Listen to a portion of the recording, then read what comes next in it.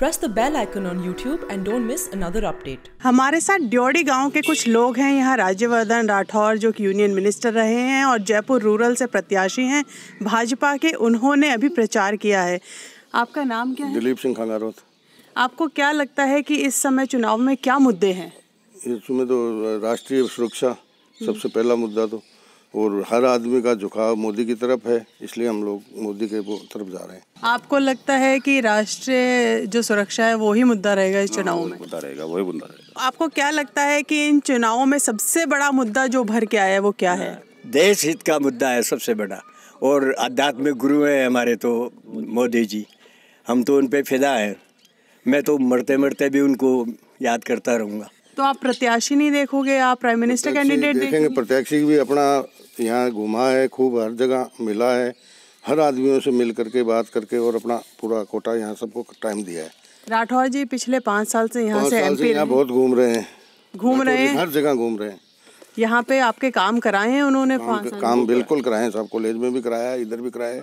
जो भी इनसे जो रिक्वेस्ट किए उनको काम कराया है। पाँच आदमी गए वहाँ। तो आपको लगता है कांग्रेस कहती है रोज़गार? नहीं कांग्रेस वो तो फर्जी है।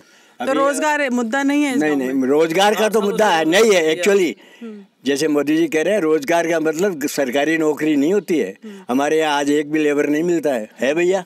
लेबर लेबर मिलता नहीं इससे भी काम चला रखा है। यहाँ पे माना जाता है कि किसानों का मुद्दा बहुत बड़ा है। किसानों का मुद्दा इसलिए है किसान थोड़े ज़्यादा है यहाँ। तो आप संतुष्ट हैं सरकार ने किसानों के लिए? नहीं किसान भी इनके साथ है। क्यों? इन्होंने काम कराया इस वजह से। और कांग्रेस? न्यू पीढ़ी के किसान हैं वो पूरे इनके साथ हैं। पुराने वाले थोड़े कांग्रेस के साथ हैं बाकी तो न्यू पीढ़ी के इनके साथ हैं। कांग्रेस कह रही है कि हम न्याय से पैसे देंगे किसानों का भी देखभाल करेंगे। वो तो एक दिखावा है और छलावा है और कुछ नहीं इतने पैसे दे नहीं सकते। देंगे कहाँ से? मोदी ने तो दिए हैं वो पंद्रह लाख नहीं दिए तो हम लोगों का फौजियों का कितने फौजी हैं? हमारे गाँव में हैं बीस फौजी। तो सबको मिले हैं। आज इतना बढ़ा सकती थी क्या कांग्रेस? और आपको क्या लगता है कि सबसे बड़ा मुद्दा क्या है यहाँ पर?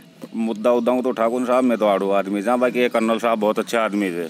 सबने साथ लेर चाल बड़ा आदमी थे। हमारे साथ शिवराज जी हैं इनका घर यहाँ पे 422 साल पुराना है। चार सौ हाँ चार सौ बाईस साल पुराना। 422 साल पुराना घर है और इस अकेले घर के 30 से 35 वोट हैं। 30 से हाँ, हाँ, 35 वोट पैंतीस वोट तो सब अधिकतर लोग आपके घर के बाहर चले गए। वोट डालने आएँगे वो वापस? वो आ सकते हैं आते हैं। वोट डालने वापस आते हैं सब? आते हैं, सब आते हैं पूरा परिवार आता है। तो आपने यहाँ दो तीन जनरेशन देख ली हैं शिवराज जी। आपको क्या लगता है कि आप महिला होने के नाते आपके लिए सबसे बड़े मुद्दे इस के इस पूरे गाँव के क्या हैं? पानी की कमी है। यहाँ पर पानी बहुत कम आता है। अच्छा। और सड़कें नहीं है रोड नहीं है हमारे यहाँ पर। तो आपको लगता है कि आपने यहाँ के एमएलए या राज्यवर्धन जी पाँच साल यहाँ से एमपी रहे हैं आपने मांग करी कुछ हुआ उसका? वो हमें उम्मीद है कि यही हमें पानी की व्यवस्था कर सकते हैं। आपको उम्मीद है? अभी भी यही करके देंगे आपको पानी की व्यवस्था? आपको लगता है इतने साल में पानी नहीं आया तो अब आने वाले दिनों में पानी आ सकता है? हाँ तो उम्मीद तो है हमें कि पानी आ जाएगा। तो ये हैं जयपुर रूरल की महिलाएँ, जिन्हें लगता है पानी का मुद्दा हमेशा से रहा है, परंतु अभी भी उन्हें मोदी सरकार से ही उम्मीद है।